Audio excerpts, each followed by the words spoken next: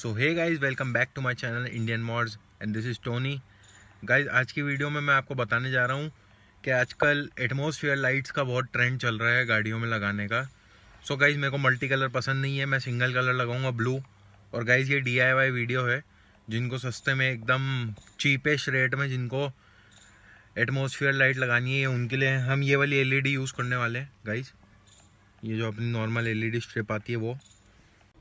So guys procedure में बता देता हूँ। हमें थोड़ी सी वायर लगेगी टू मीटर के करीब।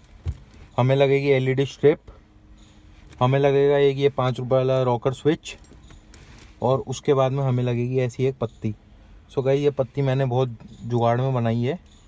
अगर आप इसको फैब्रिकेटर के पास जाके बनवाते हैं तो ये टेन ट्वेंटी रुपीज़ की बन जाएगी। सो गाइज़ एटमोसफियर लाइट लगाने के लिए बहुत लोगों ने बहुत सारे प्रोसीजर यूज़ किए। किसी ने चार्जिंग सॉकेट के साथ में लगाया, किसी ने स्टीरियो के साथ में लगाया है। किसी ने डायरेक्ट इग्निशन के स्विच से लगा दिया। मगर गाइज़ हम स्विच के साथ में लगाने वाले हैं, ताकि जब हमको ऑन करनी हो तभी लगाएँ। तो गाइज़ स्विच लगाने के लिए मैंने इसके लिए एक ऐसी पत्ती बना ली है।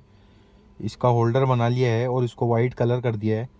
गाइज़ लगाने को तो हम स्विच डैशबोर्ड में भी लगा सकते हैं बट गाइज़ हम डैशबोर्ड ख़राब नहीं करने वाले। मैं आपको कुछ भी ऐसी चीज़ नहीं बताऊँगा जिसमें वायर कटिंग हो के कुछ भी हो। सो so गाइज़ हम इसका कनेक्शन लेंगे स्टीरियो से। और गाइज़ स्विच के थ्रू हम इसको ऑन ऑफ़ करने का सिस्टम लगाएँगे। सो so स्विच कहाँ लगाएँ? सो गाइज़ इंडिगो में स्विच लगाने के लिए मेरे को जो सबसे सही जगह लगी है, वो गाइज़ ऐसी लगी है कि मैं ये जो मैंने माउंट बनाया है स्विच का, उसको यहाँ इसके पीछे लगाऊँगा, इस होल के।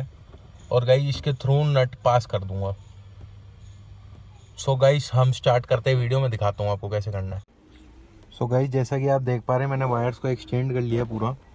सो so गाइज़ अब हम एलईडी की प्लेसमेंट कर लेते हैं। गाइज़ एलईडी की प्लेसमेंट आप अपने हिसाब से कर सकते हैं कहीं पे भी। सो so गाइज़ मैं उधर डैशबोर्ड के नीचे और इधर लगाऊँगा। सो so गाइज़ पहले मैं लगा लेता हूँ, फिर मिलते हैं। सो so गाइज़ ये हमारी एटमोसफियर लाइट्स लग चुकी हैं। सो गाइज़ देखिए, इधर भी इस साइड में भी लग गई है नीचे। सो गाइज़ हमें वायरिंग स्टीरियो के पीछे से देनी है। सो so गाइज़ ये जो आप रेड वायर देख पा रहे हैं और एक ब्लैक वायर है ब्लैक वाली नेगेटिव की और रेड वाली पॉजिटिव की है। सो so गाइज़ हमें जो रेड वाली वायर है, उसमें से वायर लेके हमें हमारे स्विच में लगानी है। एंड गाइज़ जो हमारी दोनों एलईडी को कनेक्ट करके उनकी दोनों की नेगेटिव वायर को इस ब्लैक वाली में ला के कनेक्ट कर देनी है। सो so गाइज़ मैं इतना कर लेता हूँ, फिर आपको बताता हूँ गाइज़ सो गाइज़ वायरिंग मैंने कर ली है। मैंने उस साइड में जो एलईडी लगाई थी, उस लेफ़्ट साइड में, वहाँ से उसकी मैं दोनों वायर को इधर ले आया और इधर एक जो एलईडी है इसकी वायर्स के साथ में कनेक्ट कर दिया और इन दोनों में से एक वायर निकाली गई और उसकी जो नेगेटिव थी, उसको इसमें कनेक्ट कर दिया, शीरियो के नेगेटिव में. और गई जो एलईडी की दोनों पॉजिटिव थी, उनको मैं इसमें ले आया स्विच के पॉजिटिव स्विच के दूसरे टर्मिनल में. सो so देखिए हमने इग्निशन ऑन किया. ये इग्निशन ऑन कर लिया. सो गाइज़ जैसे ही हम इसको स्विच को दबाएँगे, ये हमारी लाइट्स चालू हो चुकी हैं. सो गाइज़ एक बार मैं इनको प्रॉपरली सेटल कर लेता हूँ.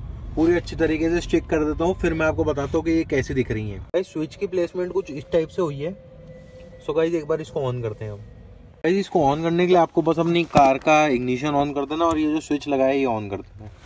सो गाइज़ देखिए इसका कितना बढ़िया लुक आया है। ये देखिए गाइज़ गाइस ये एकदम नाइट में भी बहुत शानदार दिखेगी। कैमरा एकदम आपके साथ जस्टिस नहीं कर पा रहा होगा बट गाइज़ ये रियल में बहुत अच्छी लग रही है। सो so गाइज़ एक बार मैं आपको अपनी कार का वॉक अराउंड भी देता हूँ, क्या क्या लाइटिंग सेटअप है इसमें। सो so गाइज़ कार का लाइटिंग सेटअप कुछ इस हिसाब का है। हेडलाइट एकदम नॉर्मल येलो है। गाइज़ ये मैंने कस्टम ग्रिल बना रखी है टाटा की। अगर आपको इस में से किसी को भी चाहिए हो तो गाइज़ मेरे को आप इंस्टाग्राम पे मैसेज कर सकते हैं या कमेंट में कमेंट कर सकते हैं। गाइज़ यहाँ पे भी मैंने एलईडी स्ट्रिप लगा रखी है। गाइज़ सारे फॉग लैम्प वर्किंग है।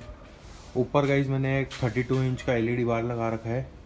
एंड गाइज़ अब मैं आपको पीछे दिखाता हूँ। पीछे भी गाइज़ मैंने नंबर प्लेट के ऊपर ब्लू लाइट्स लगा रखी so thank you for watching this video guys hope to see you in my next video till then stay tuned and do like this video so guys अगर आपको किसी को भी वो कस्टम ग्रिल चाहिए हो, कोई सी भी कार के लिए तो गाइज़ आप मेरे को कमेंट बॉक्स में कमेंट करके बता सकते हैं। मैं किसी हर गाड़ी के लिए कस्टम ग्रिल बनाता हूँ खुद से और एकदम चीप प्राइस पे बनाता हूँ। सो गाइज़ नेक्स्ट वीडियो में मिलते थैंक यू